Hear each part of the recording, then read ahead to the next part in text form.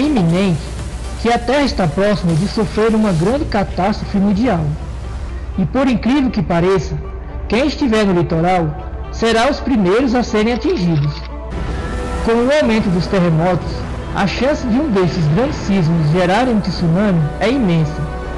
Os tsunamis, ao alcançarem a costa, provocam uma destruição assustadora, não dando quase nenhuma chance para quem estiver no litoral de sobreviver.